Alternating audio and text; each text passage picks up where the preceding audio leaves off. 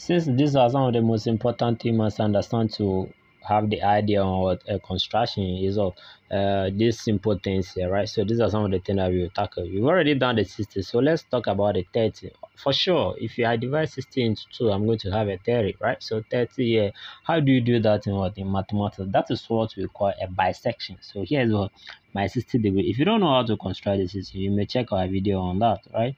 So here, if you have the 60 degrees, what am I going to do? I'm going to divide the 60 degrees into two. So from here to here is what 60 degrees. So this is the starting point. That's the most important thing here. So I want to divide this one into do into two here. So that means that I'm going to do a bisection, right? So bisection, you stand at one point of the 60, open more than half of this one, right? Obviously, this is exactly more than half. Obviously, it's not on the line.